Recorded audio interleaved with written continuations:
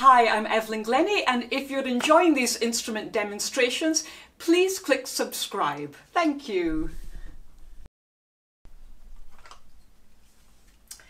Well, these contraptions are called wasamba rattles, and I've never actually had to use them in concerts or anything like that, but they are quite effective um, if you just want to play them quite minimally, especially in a studio situation. Um, they do give quite a, a a clack actually. And if you're in a, a wet acoustic reverberant acoustic it's amazing how much they will fill the room. So just just fun to play interesting to play